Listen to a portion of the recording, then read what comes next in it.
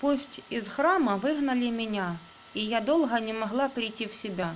Вещи все же в храм я занесла и без улыбки на лице домой пошла. Очень больно и обидно мне за то, что девять лет была я им нужна, а теперь, когда пришла, мне вдруг сказали «вон пошла», и это вроде ни за что и ни про что. Девять лет я в храме прослужила, и в ответ реакцию такую получила. Кришне поклониться в храм зашла, а до этого в список черный я вошла.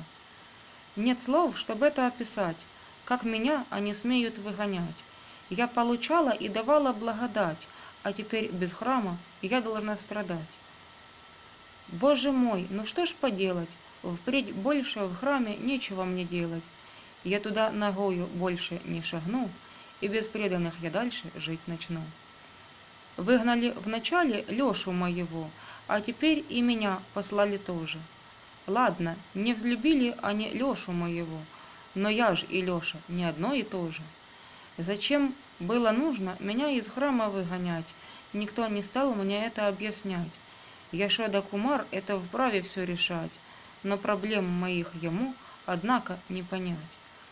Тут моя отдушина была, мне недостающую я тут любовь нашла. Я как поэтесса здесь себя нашла, спустя две недели, как сюда тогда пришла.